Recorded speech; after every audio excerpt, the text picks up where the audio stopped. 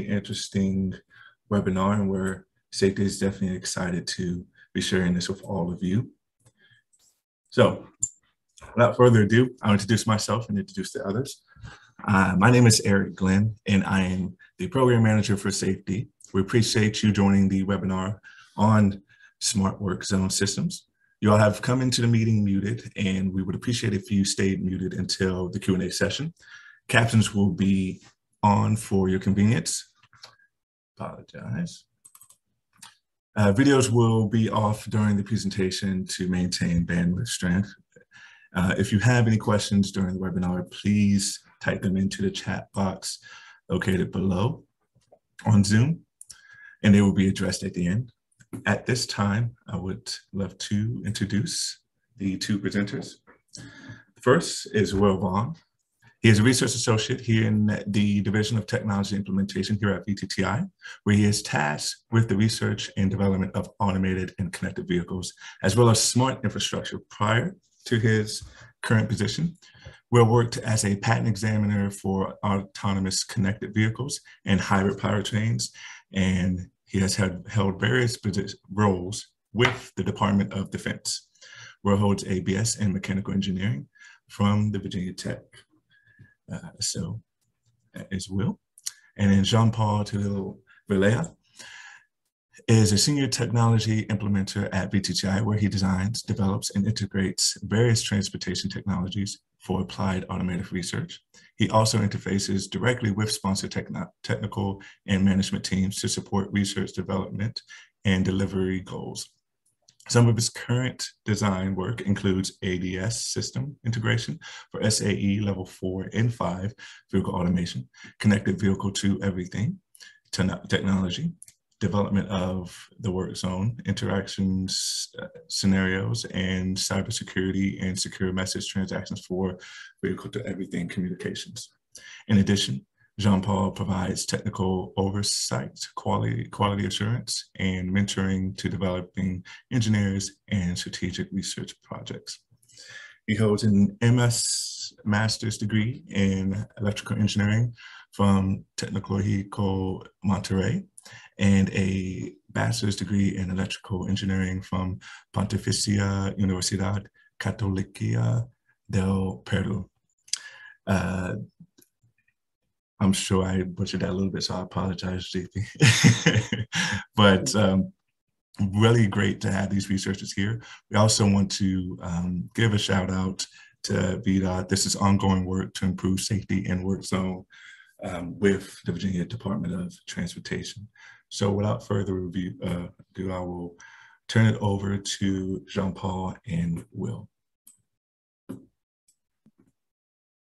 Okay, good afternoon, everybody. Uh, we're pleased to provide and share our findings in this this project, the Smart Work Zone System. They, we have been working for a year and happy to provide the good news about what, what is the new safety feature that we can provide to the work zones to improve the, the safety and also reduce the fatalities. Um, so we're going to, to start with uh, trying to understand the what's happening on the work zones. Unfortunately, uh, as you know in the plot, and the fatalities have been increasing over the years. And here is a couple plots. One on the left is from the National Work Zone Safety Information Clearinghouse. And the, on the right one, we have the VDOT Work Zone Safety Update. Um, it's pretty clear that we don't see any uh, reduction on the fatalities and fatal crashes that are happening on the work zones. Most, most of the source of these crashes are the distraction or the signaling sometimes is not being perceived correct, correctly from the drivers. And unfortunately, uh, there is uh, always workers in the activity areas on these work zones. They uh, unfortunately uh, lost their their life and we need we are working on trying to understand also what could be the re main reasons and also how we can improve that safety layer that can help those workers feeling safer and also receive warnings and alerts when there is a threat situation around them. So um, nationally uh, across US and also in Virginia, we see the, the numbers are in the, in the climb and hopefully with this technology, the VTTI have been developed and along with VDOT and the VTRC uh, as sponsors, we will be able to deploy these and help workers to feel safer on the work zone deployments. So the Smart Work Zone system have four main components. We're going to focus on the first three components today, the Smart Vest, the Smart Con, the CV2X base station, and the Work Zone Builder app.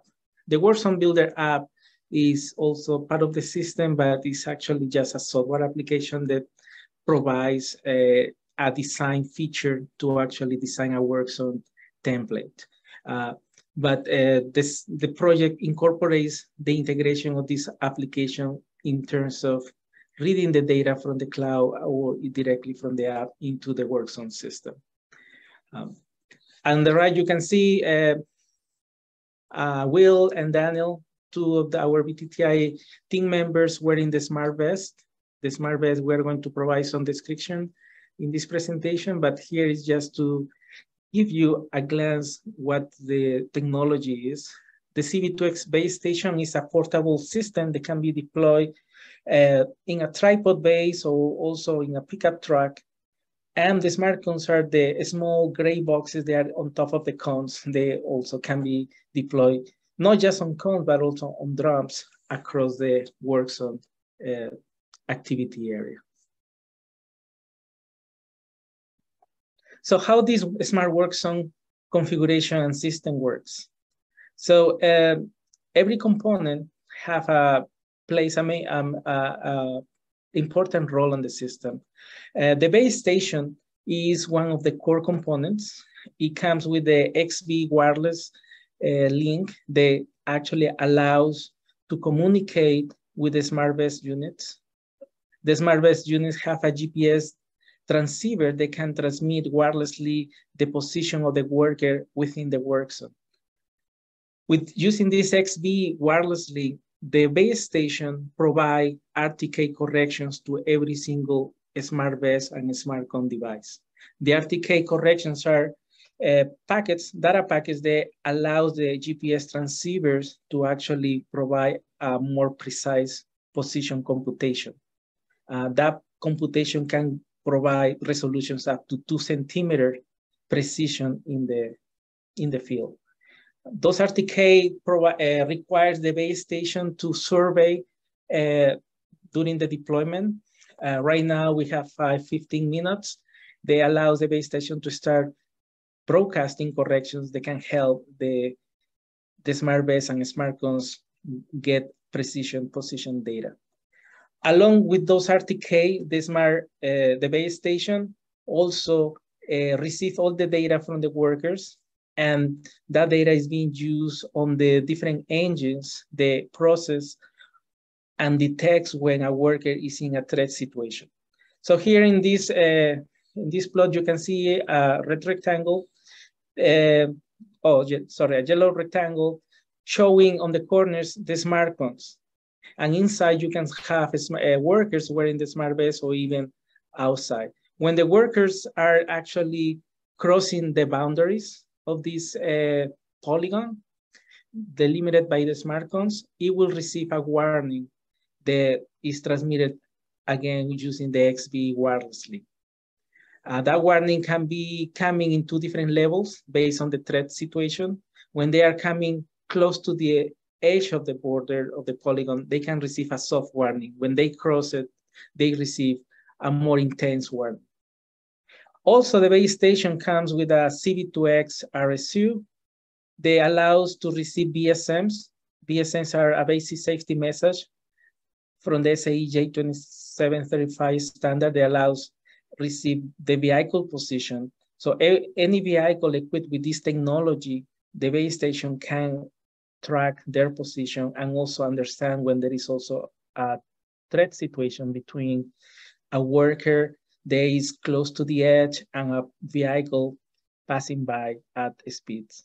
Um, the algorithm for that is using TTC, uh, time to collision, which is set to four seconds in most of the cases, but that can be configured based on the proximity or also from the works on deployment uh, type.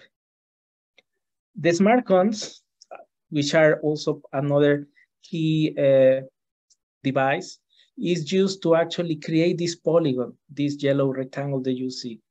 Uh, it doesn't require, uh, um, it requires a minimum of three smart cons to actually delimit a polygon, but it can be up to 10 or 15 smart cons. It depends on the complexity of the activity area within the work zone.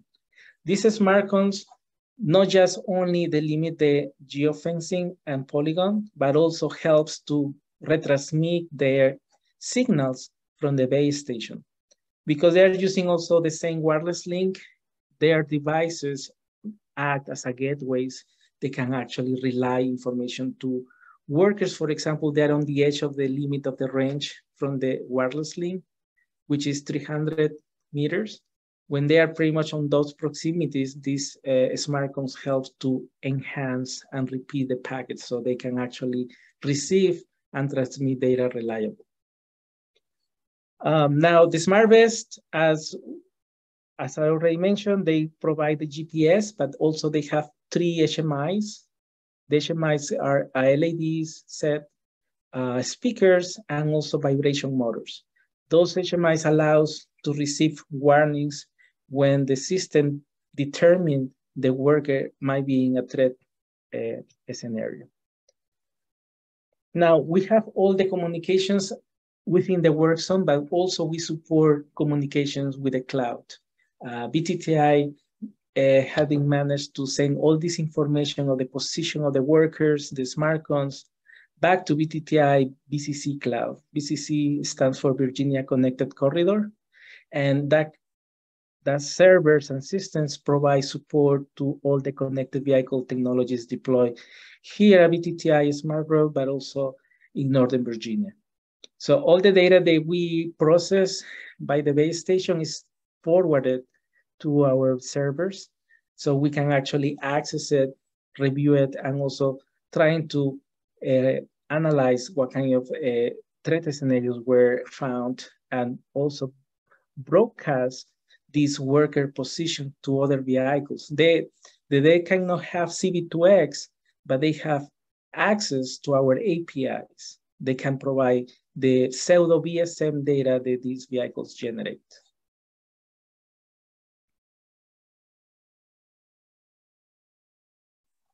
So uh, in the next slides, we are going to talk about more of the uh, technical aspect of these devices.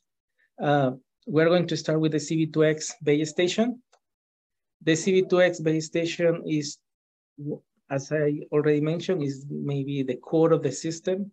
They actually have embedded edge computing. In this case, it's a Raspberry Pi 4 running uh, Linux and running a C++ application. They actually connects different interfaces and provides data to the SmartVest and the smart cons and also to the RSU. As you can see on the on the plot on the on the right, uh, the embedded edge computing have three engines. It have the RTK engine, which actually receive uh, data from the u-blox receiver that is in the base station and generates RTK corrections. They are being broadcast to every single uh, base and smart code. This this uh, approach reduces the cost of having very expensive RTK receivers in each of the smart SmartVest.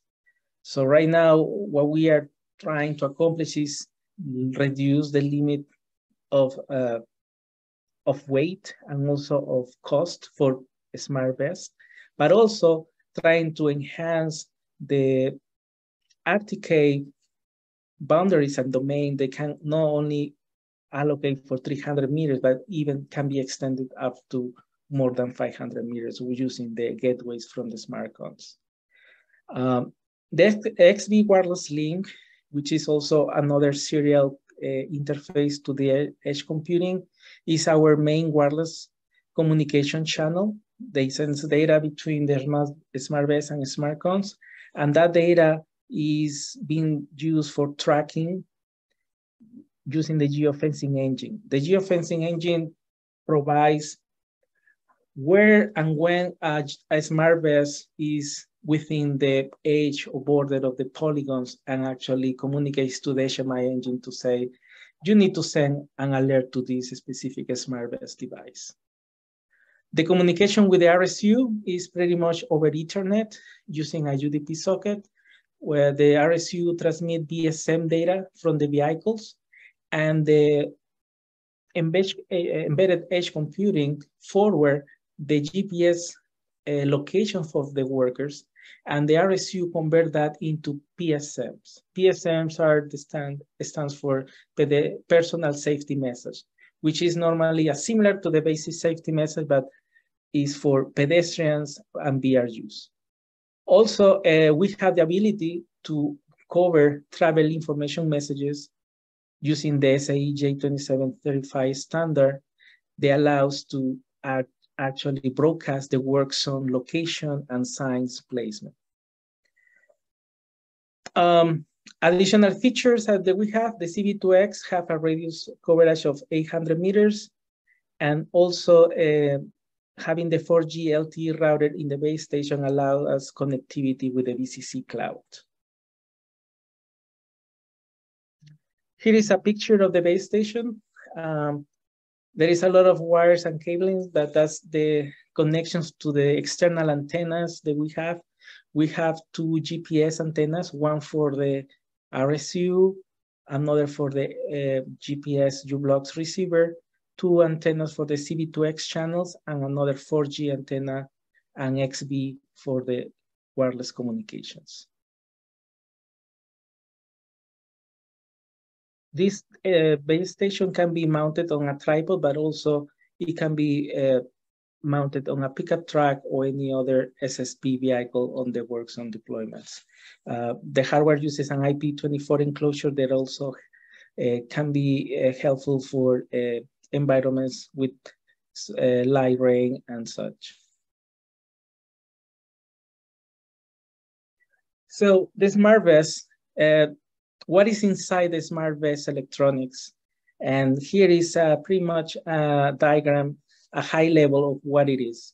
So the smart vest needs to be wear by a worker. So we actually uh, research into what will be the best way to uh, have the small number of components that allows to communicate to the base station, but also uh, trigger alerts to the worker. So we are using a microprocessor. It's a 32-bit processor. They actually have two serial interfaces, one for the GPS u-blox and another for the XBee wireless link, which normally, as I mentioned, that those links are actively running and they are receiving data. Uh, the XBee forwards all the RTK information to the GPS engine and the GPS engine data received from the u-blox is being forwarded to the base station using the XBee. So it's back and forth communication between the two receivers. Uh, we have controllers for the LED, uh, two speakers and two motor uh, controllers or tactor motors. They are going to provide the alerting mechanisms to the worker when there is a threat situation. Uh, the battery pack, which is currently a 5 volts battery pack, provides low power consumption, and, um, and up to 22 hours of operation. The u-blox, as I mentioned, is a set F9P with accuracy down to two centimeters, which is pretty good and enough for uh, tracking the user and understanding when he's entering or exiting a specific geofencing areas. Um, all these electronics that we developed we uh, uh, we house it inside a pouch. Uh, that pouch is normally where in the back of the worker, and we are going to provide those details in the next sections. That pouch also as, is fully detachable from one vest to another. The SmartCon has the same or similar hardware, but they don't have any functionality of HMI because the smart cons does not need to alert any worker. So it's the same hardware. However, uh, the hardware that will, will be described in the next sections uh, have two additional uh, items, which is the waterproof USB port for charging and a waterproof power switch. So basically you don't need to access any of the hardware to actually turn on the, uh, the system or even for recharging the battery. This system can last up to 24 hours using the same battery pack that is being used on the Smart Vest.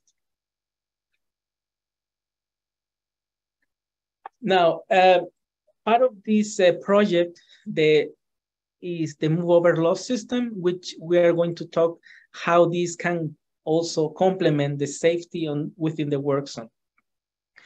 As you know, the move over loss system uh, is a rule that normally the driver need to obey when they see any vehicle, law enforcement, SSP or any DOT, they need to change lanes to avoid, you know, to to avoid causing accidents or, you know, to avoid with the with the specifications on the road. Uh, in order to capture and detect when the vehicles are actually obeying the rule, uh, VTTI come out with a, a, camera and radar system that allows to track intrusions or actually vehicles that are not following the rule.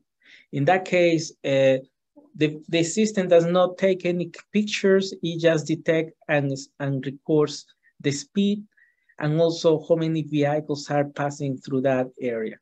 Uh, this uh, addition to the system uh, can be interfaced with the smart vest to receive an alert when a vehicle is coming through the work zone.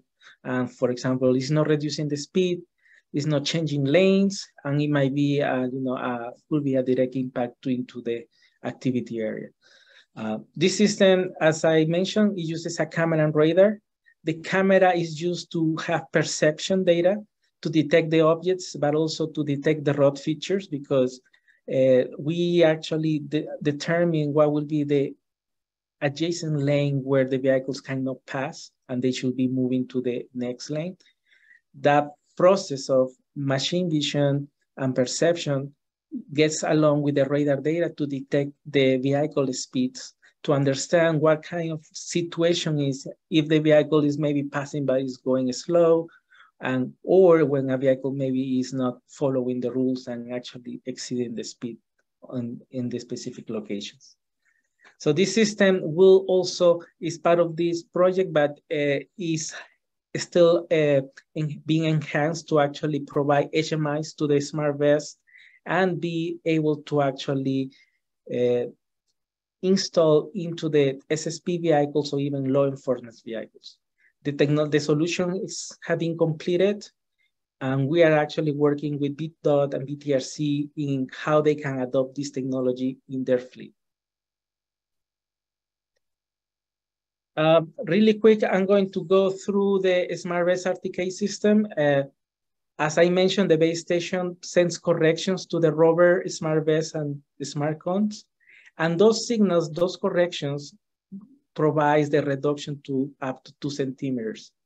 What happens when there is no corrections? And that's kind of a, what is one of the dependencies of the system.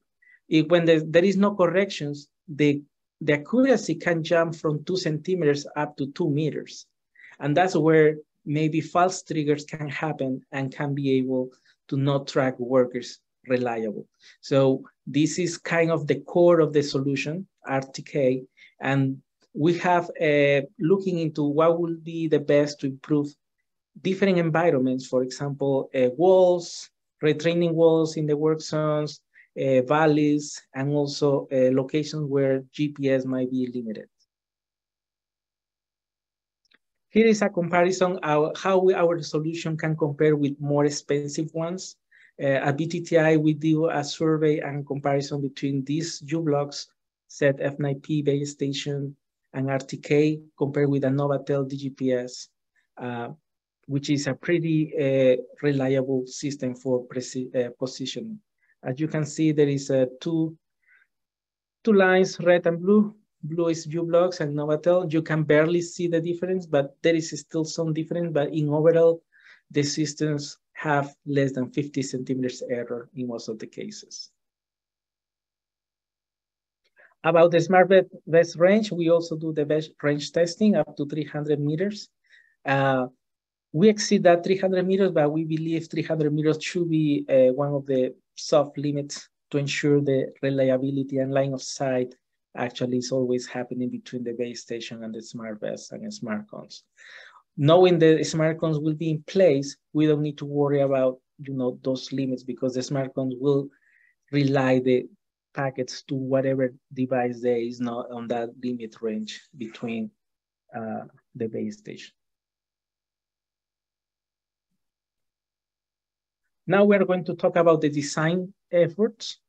Um, on the design efforts, uh, we have a, uh, we, we start with the pouch concept, where and how the pouch can be uh, can be installed in the vest. And that's kind of one of the things the, of the requirements the VDOT and also contractors provide some feedback. It needs to be pretty simple and very limited in weight. The cost should be as minimal as possible. Uh, extended battery life, and also uh, portability, meaning the, the pouch can be port, can be moved from one vest to another. So uh, we uh, start talking to different companies about uh, how they can support us, the, the fabrication and the build of these systems. And VTTI uh, work with uh, Virginia Tech fashion and design team to get the idea into a final pouch uh, build. As you can see here on the next slide, we have three revisions. The first revision was a, a normal fabric, which was not really, didn't have any waterproofing capabilities and we put Velcro on the back of the pouch to connect or to actually adhere to the SmartVest class three. Uh, on the second iteration, we changed the fabric to a more uh, a waterproof uh, fabric, and it's also lightweight. And we keep the, the Velcros in place, and we have elastic bands for the tactor motor that you can see on the top right uh, uh, picture. In the last revision, the final one, uh, we actually add snap buttons to the back and also secure in a better way with using snaps buttons, the PCB board and also the battery. That way, uh, the, the system and electronics were pretty secure and also able to uh, support the miscellaneous and different tasks of the workers in the work zone field and deployment. The electronics have two revisions. We made the, the design house. Uh, we need to have two revisions due to the supply chains and the COVID uh, prevent us to have the first revision actually built for more than five units. The components were out of stock in US, so we need to be forced to make another design to support a different uh, form factor for the u-blox receiver and the XBee wireless link. So the big difference between the two boards that you see is that we add uh, the GPS as a, a snap-on instead of having the GPS receiver on the board. Uh, also, we reduce the cost by reducing the US, uh, the PCB layers in the design. So that also reduced half the cost. And we still use a similar processor, a 32-bit ARM. So the, the, the performance of the processor was not changed in between the two designs. So here you can see the back and the front. Uh, the class three vests that we choose have some LEDs built in. And what we did was access the controls for those LEDs and connect it back to the smart vest electronics. I will let Will to provide some guidance, uh, uh, information about the smart cone design and the different revisions. Thanks, JP. Can you hear me all right? Yes. Okay, great. Um, so yeah, so uh, you know, JP and the team um, had this fantastic idea of how to set up this, you know, live work zone to accomplish all of these safety goals and and increase increase safety um, and protect those workers in the work zones in case of incursions um, or and rapidly changing work zones to keep track of that. Um, so I had to come up with an idea how to mount the components that came with me. So the the battery, the PCB, and the GPS receiver. Um, originally, um, we looked to some commercially available products um, like mounts that go onto or lights that mount onto the top of cones or drums. Um, but some of those um, aren't as secure as we would like to be able to be thrown around um, or they took a long time to assemble. So we wanted to have a quicker assembly process. Um, so we thought going that route would be a little too slow. Um, so we came up with a, uh, you can see in that center picture, um, a central ball that would be pushed down through the top of the cone. Um, but we uh, sort of weren't sure of how secure that would be or if that would be too cumbersome to put on and take off. And the um, second uh, idea was to just uh, most drum cones come with a hole through the center handles um, and mounting those with a simple um, bolt and nut. Um, however, we moved on from that. Um, so we wanted to have something that uh, we didn't have to completely customize ourselves. So we sourced a waterproof enclosure um, and moved to a three-tier design. So you can see there's three different layers there. Um, those are laser cut acrylic pieces. Um, they house the battery on the bottom layer, the PCB in the middle, and the GPS on top for best reception. Um, that entire unit can be taken out of the IP enclosure um, at, with just four screws so that each unit can be, or each component can be inspected, replaced. Um, the external enclosure is also uh, made of durable ABS, which is UV resistant. Um, and that waterproofing is going to give us the confidence with a commercially uh, certified product that none of our uh, components inside will make any sort of or be vulnerable. Um, to attach to the cone um, was uh, something we explored too. So we uh, designed a two-piece clamp um, that would be attached to the box permanently. Um, well, at least in the casing, so that the worker would come out to the cone, place it on top, close the clamp, twist the cam handle a little bit, and just clamp that shut. Uh, and that and that design was good. Um, we you could pick up the entire cone, swing it around just by holding that box up top there. Um, but we learned a couple things when we went to uh, some crash testing. So, you know, we have to imagine this thing in the worst case scenario, and the scenario we are trying to envision it in is uh, you know inclusion incursion of a vehicle into the into the work zone um, and we want to mitigate those consequences and not add any sort of other variables um, so what we did is we wanted to reduce a little bit of the weight um, we reduced the profile of the clamp um, but here let me let me go back so we did a little bit of crash testing here at the smart road um, where we hit it with a larger vehicle um, around 20, 25 mile an hour. And we saw where the component broke, um, what stayed intact, and we sort of tried to learn from that.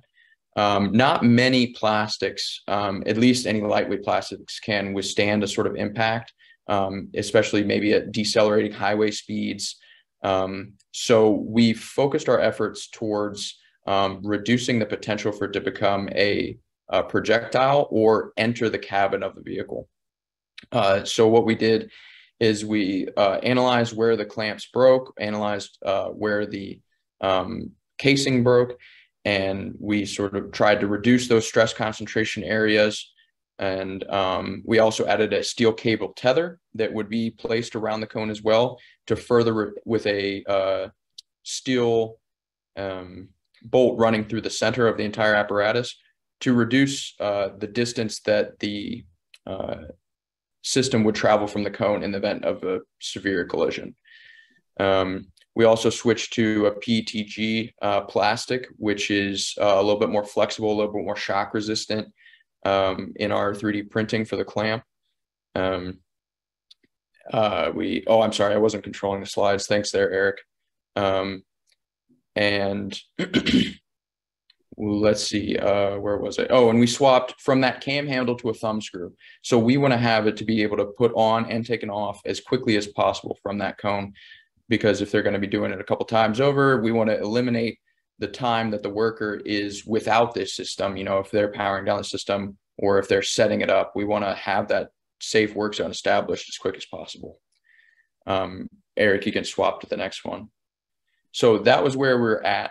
Um, some of the next, the future work is focused on um, commercialization efforts. So designing a new enclosure for um, injection molded plastics, which are stronger. We could source them cheaper at scale, um, as well as um, really streamline the uh, how to assemble uh, all the components inside the box. Uh, we're also exploring MASH testing. Um, so that has very strict requirements. So MASH is manual uh, of assessing safety hardware.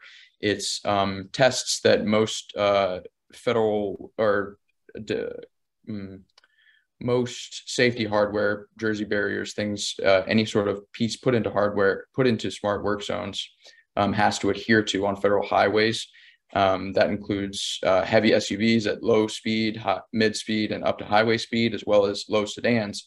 Um, so, in the case of a low sedan, you have the cone and the top unit is above the hood line. So, that comes directly into the windshield. So, we thought about rounding the corners um, and trying to make efforts to not have that ingress the cabin of the vehicle.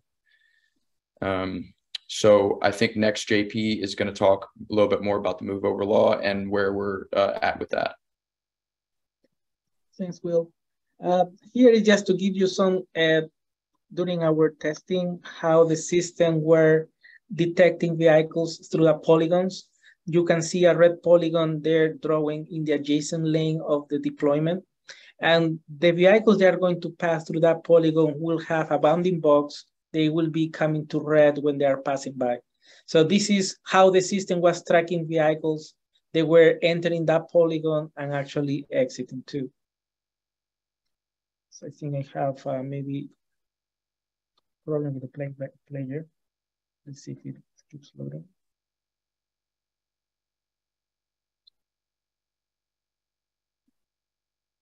Okay, well, but uh, let's see if we can load more. Yeah, here you go. Um, you can see more detected vehicles.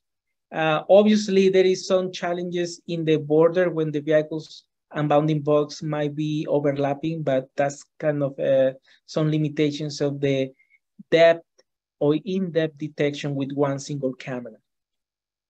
So uh, here is another video using the raw data received and checked by the vehicle and our ROS system. This is actually what the computer is uh, reading from the camera and radar and actually uh, fusing between the two. On the center, you can see some dots coming and increasing from very uh, negative to positive and also uh, within the negative region. Those, those uh, dots can tell you are the speeds detected and the position detected from the radar.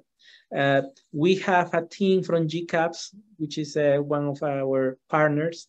They help us to develop an algorithm to actually fuse the two data sets, the camera and the radar all together.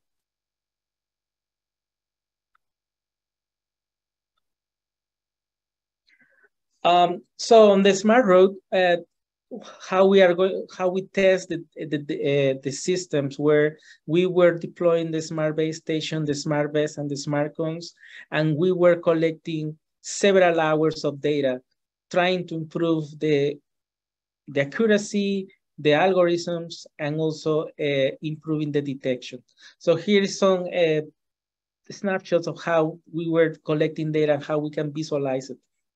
The first one on the left shows uh, one of the geofencing points and waypoints classifications for a specific portable unit. In, in this case, could be, instead of being a, a geofencing, it, it comes to a, as a system that can be installed on, a vehicle or a moving vehicle within the work zone. This feature was requested during our uh, deployment, and that was added before the end of the project as a very important request due to the fact that there is always machinery or even moving vehicles within the work zone. And actually, those are the major because of the accidents that can happen inside the work zones.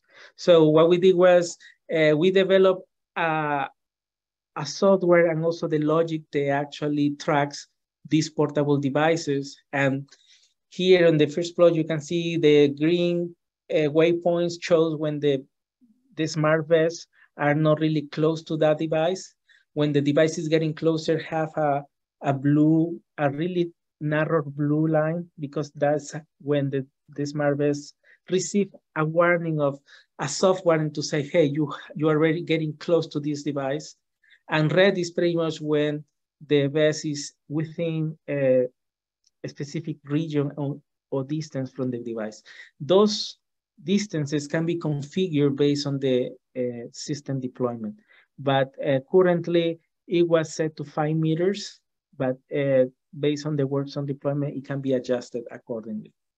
On the right side, you can see a, a triangle shape. And what we were doing there was kind of understanding the accuracy when the base station is close to buildings or when the GPS is limited.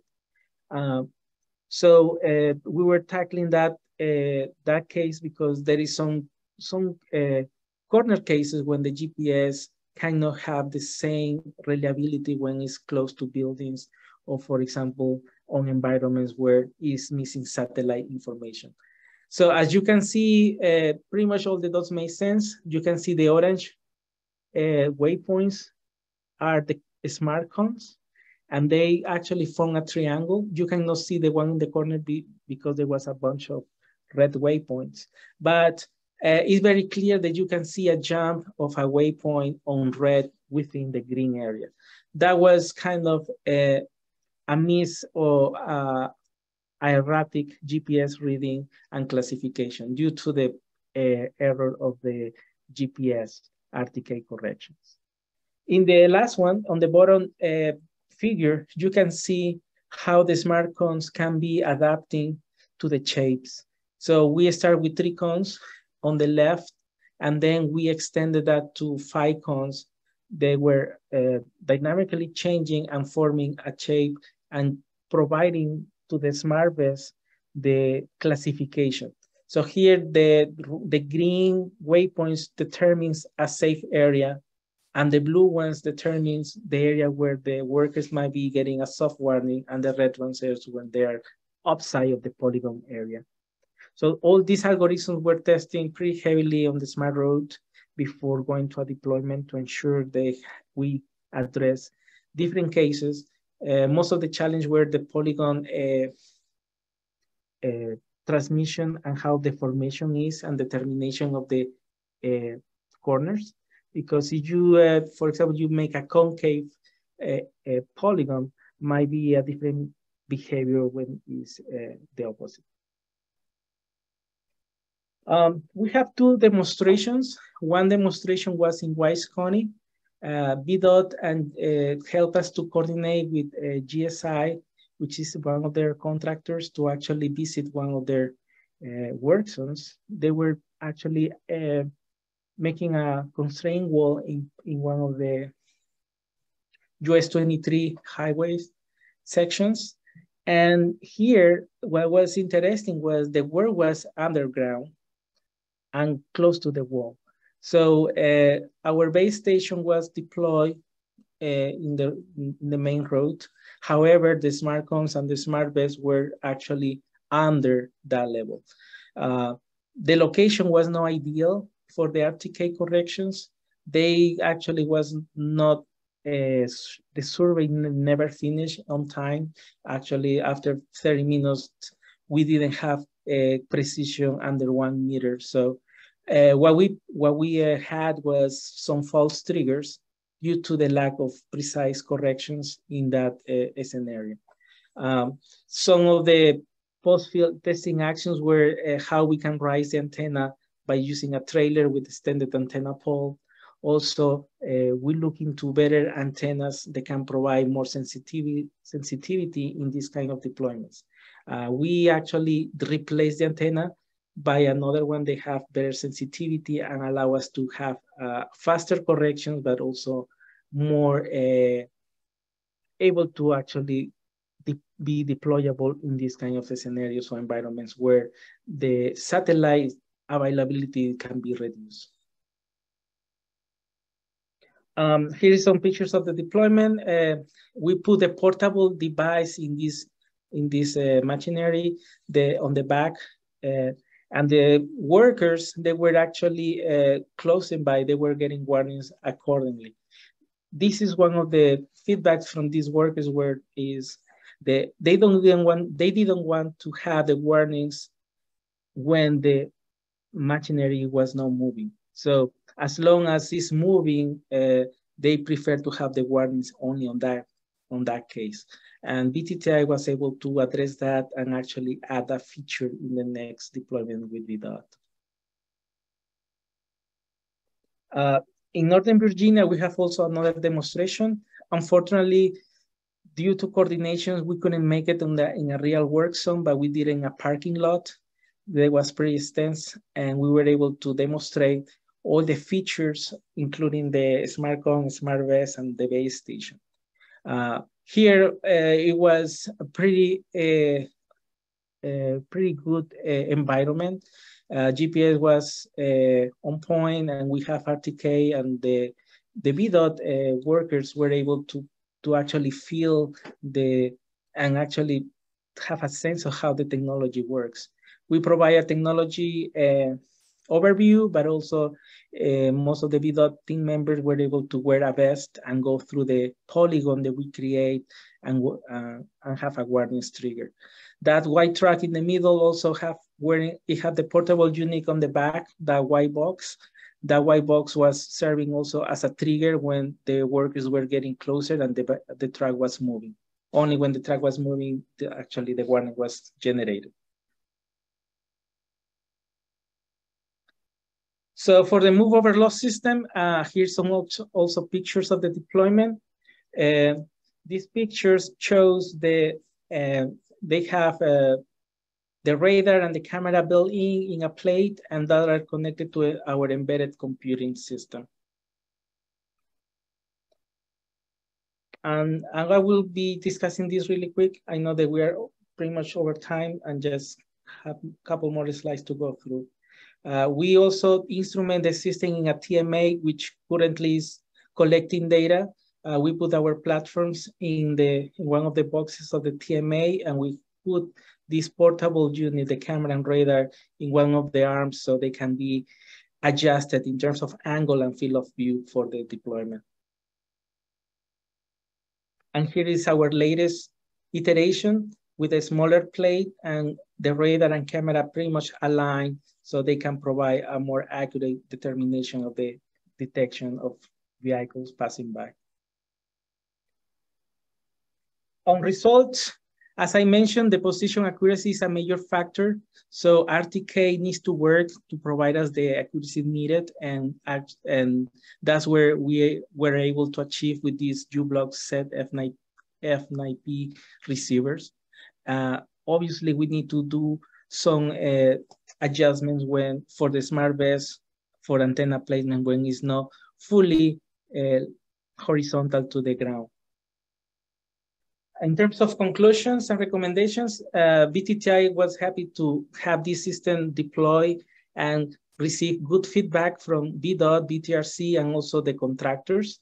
Uh, we were able to demonstrate the system accuracy and the warnings at different levels and how the smart cones can have uh, also the ability to adjust the polygons in the activity areas in a dynamic way. Uh, the, the hours of operations also was pretty good. And I think uh, one of the suggestions uh, that we gained were make it even light, lighter and also trying to focus on easy configuration of the polygons by using other devices like a, a geoplotter or using the Workzone Builder app to actually uh, readjust that polygon. Well, do you want to comment on the MASH testing too?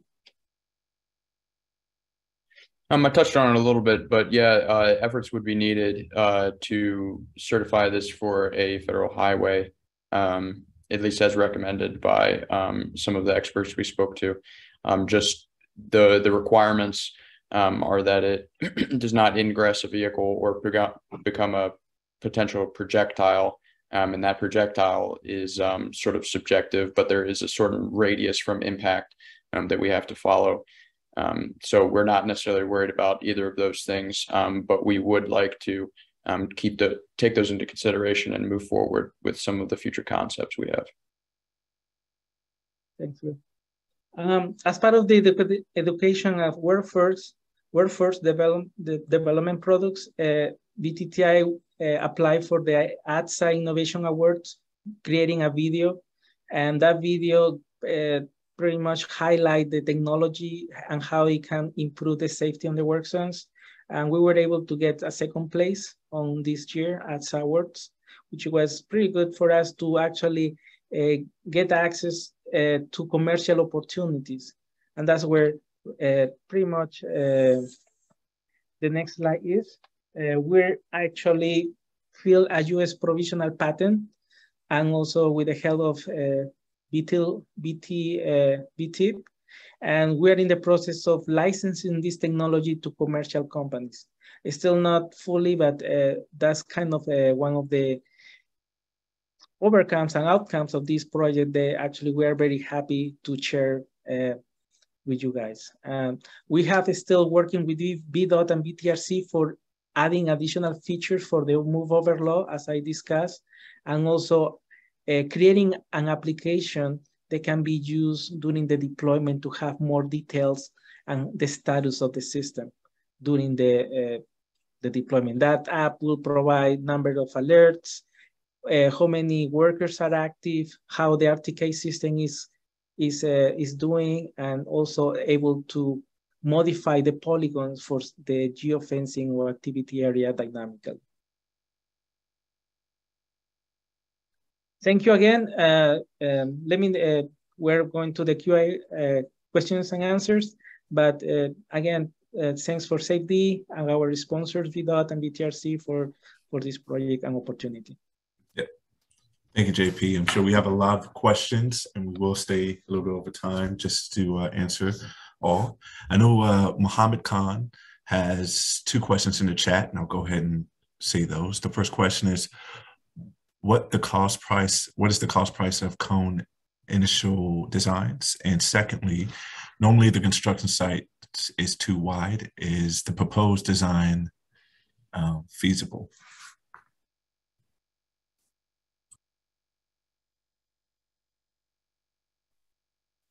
Uh, Mohammed, would you like to maybe unmute and uh, clarify that uh, second question? Uh, maybe the first one. Are you the initial design? Like, what did we start with?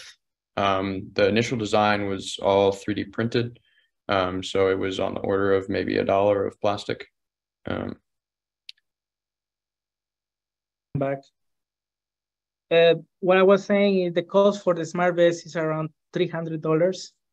Uh, due to the u-blox receiver, the GPS with RTK is a $300, including the PCB, the receivers, and uh, the vest itself might be additionally 30 to $40. So we're looking into around 350 total for the smart vest component.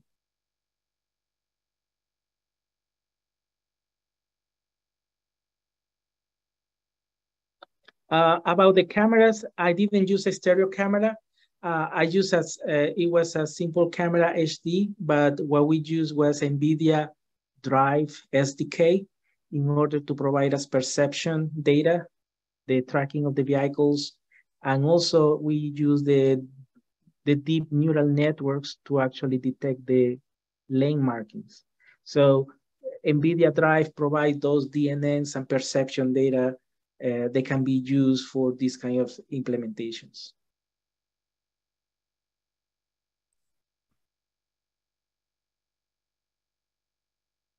Yes, the, the weather, the base station, the CV2X base station have been tested in weather conditions, different weather conditions. Actually, in Northern Virginia, we deployed when it was around 105 Fahrenheit, pretty hot, and everything was working as expected. Uh, all the all the components selected are autom automotive grade. So they they normally can support over 85 Fahrenheit, but uh, one of the follow-ups were using a, a enclosure with some cooling, but that also the reduces the IP proofing for waterproof applications. And just to uh, give people a chance who don't have access to the chat or I won't be able to read what's in the chat, uh, that was an answer to the question that said, has the base station tested in different weather conditions? and there's also two pre-questions that were asked uh, before the presentation. So the first one is a two-part question, which is this person would like to know the weight of the vest and how easy it is to work in. Also, are there items in the vest changeable to another vest? I believe Bodie spoke to that, but if you can again. Will, do you want to answer that? Yeah, sure. So um, the pouch and all the electronics inside are less than a half a pound, uh, less than eight ounces. Um, they're attached via Velcro and um, rivet fasteners. Um, so it's very easy to take uh, on and off. There is a minor integration of um, just the wiring, um, but it's minimal. The wiring can be removed. It's just to access the LEDs, and it just uh, it can be removed entirely from the pouch. But the pouch is detachable. For for example, uh, in our first deployment, all those class three beds were pretty dirty after the deployment, and uh, you normally need to wash them, and then we can reinstall the pouch again to for normal usage. Uh, we add the snap buttons for additional secure mechanism that also helps for specific activity tasks. The workers can be done and they they feel like a, they want to have that pretty secure in the back. Okay, thank you. And then there was another question, which is what is the latency between a vehicle crossing into a work zone and a notification to the worker's vest? Okay, so uh, in terms of latency, the, per the perception you, uh, takes 100 milliseconds. That 100 milliseconds to actually tell or advise the system there is a vehicle coming. However, that doesn't mean that's the latency. Uh, there is other factors involved in the calculation when the workers can receive the warning, which is, I mentioned, is the time to collision. So based on the speed of the vehicle approaching the work zone and the distance, we can calculate a time to collision. The, we normally keep it between four and five seconds to ensure that you know there is enough time for reaction for the worker. So it's not like a two seconds or one second. You give the four seconds for the worker to actually look ahead, look around, and actually make an action of stepping in into the work zone or actually understand what is the threat situation. JP. I believe Jose Salazar unmuted. Did you have a question?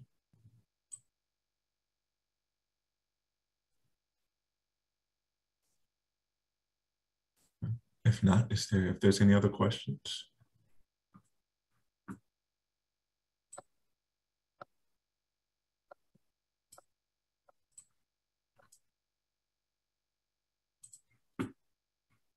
Okay. If not, that is fine. If you don't have any other questions at this point, you'll still have an opportunity to ask both of the researchers uh, questions later on. So again, I'd like to thank every everyone again for joining the webinar. This webinar will be uploaded to YouTube and I will notify everyone via email when it's completed. And once again, I will CC the researchers if you have any further questions. I'll also upload the PowerPoint in that email as well. And I also once again want to thank VDOT and VTCRI for their collaboration and partnership on this Safe-D project. Um, registration is also open for our next webinar on autonomous delivery vehicle as a disruptive technology, how to shape the future with a focus on safety by Dr. Subasish Das, scheduled for October 20th, 2022 at 11 Eastern Time. Uh, you can register on our Safe-D website with the link provided in the chat. So once again, thank you all for attending and look forward to seeing you at the next one. And thank you, Will and Jean-Paul for putting this on for Safe-D as well. Really appreciate it.